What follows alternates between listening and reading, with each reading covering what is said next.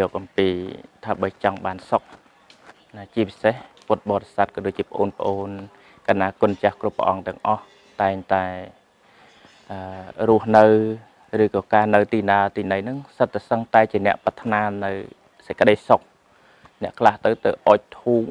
បន់ព្រះហ្នឹងហុយទលោមនៅក្នុងព្រះវិហារជីបអុជជីបអុជឬក៏ថាទៅរកគ្រូរកម៉អីផ្សេងផ្សេង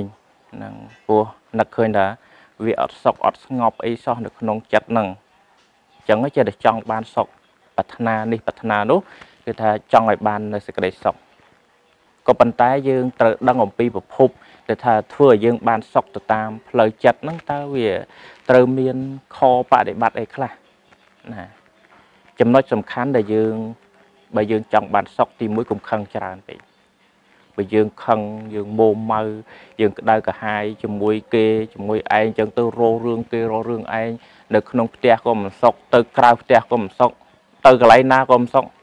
អានឹងខឹងច្រើនគេថាឲ្យគេក្រន់ទទួលមានគេប្រាប់ខ្លះនឹងចំណុចខ្លះគេក្រន់តែប្រាប់យើងឲ្យយើងបានល្អយើងមិនចេះទទួលទៅទៀតណាខឹងទៅមោម៉ៅទៅពីនេះពីនោះទៅអានឹងគឺថាมันល្អជាចំណុចមួយធ្វើឲ្យយើងនឹងខាតទាំងប្រយោជន៍ទៅទៀត អាហ្នឹងអញ្ចឹងយើងអត់បានសុខទេព្រោះយើងវាកើតអាចិត្តក្តៅអាចិត្តមោម៉ៅនៅក្នុងជីវិតរបស់យើងហ្នឹងណាហើយបើយើងចង់បានសុខតគុំខឹងច្រើននេះពុទ្ធបរិស័ទខ្លះឲ្យពេលដែលខឹងញាតិញោមពុទ្ធបរិស័ទមើលមានបានសុខណា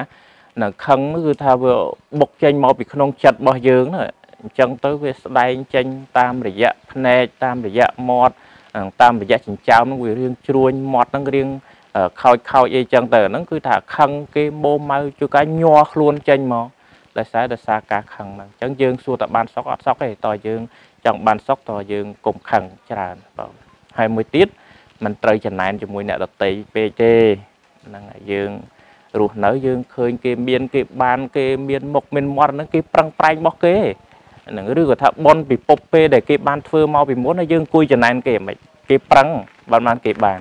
ចុះបើយើងធ្វើបានបណ្ណារស់នៅបណ្ណាយើងចេះល្មមប៉ុណ្ណឹងទៅគួយតែចំណែនគេបានប្រយោជន៍អីវាអត់បានសក់ហ្នឹងវារិះរេតែចង់ទៅធ្វើមិនឲ្យបានដូចគេព្រោះអញហ្នឹងមិនមិនបានដូចគេទេណាហ្នឹងយើងយើងធ្វើអញ្ចឹងអត់បានទេអញ្ចឹងតើយើងគុំចំណែនជាមួយគេហើយមួយទៀតគុំលោភគុំលោភពេកហ្នឹងយើងមានបណ្ណាជាការសប្បាយចិត្តសម្រាប់យើង មានទ្រព្យសម្បត្តិមានផ្ទះមានលុយមានឡាន មានការរស់នៅប៉ុណ្ណាយើង យើងធ្វើទៅតាមសមត្ថភាពការរស់នៅរបស់យើងហើយយើងមិនត្រូវមាននៅសេចក្តីលោភពេកទេត្រូវចេះសន្តោសផងទៅហើយមួយទៀតមិនត្រូវហួងហែងពេកដែរអាការហួងហែងអាការអឺចេះតែហួងហែងនឹងទ្រព្យសម្បត្តិឬក៏ហួងហែងនេះហួងហែងនោះពេលទៅធ្វើឲ្យយើងនឹងក៏នៅមិនសុខដែរដូច្នេះចំណុចដែលសំខាន់ ធัวទាំងអស់ហ្នឹងគឺថាវាមានជាប្រចាំហ្នឹងអត់បាច់ចាំថាទៅវត្តអត់ចាំបាច់ថាត្រូវទៅថ្វាយបង្គំព្រះអីតែម្យ៉ាងទេនឹងទៅដើម្បីអុជធូបឬក៏បែបបន់អីតែម្យ៉ាងទេគឺថាបើយើងចង់បានសុខតើយើងរៀននឹងមានធัวទាំងអស់ហ្នឹងដោយថាគុំខឹងគុំចំណែនគុំលោភនិងគុំហួងហែងពេកណា